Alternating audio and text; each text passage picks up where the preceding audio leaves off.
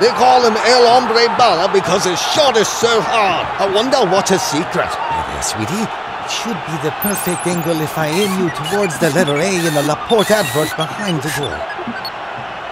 Hey, Zizou, make sure you protect your family assets. He's going to be faster than a bullet. It's a 30 yard free kick with a 20 yard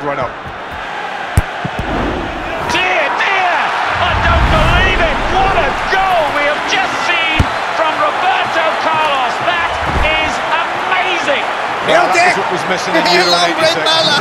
El Hombre Bala! Well, well.